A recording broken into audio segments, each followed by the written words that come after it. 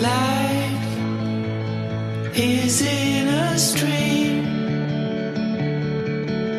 The ocean called for.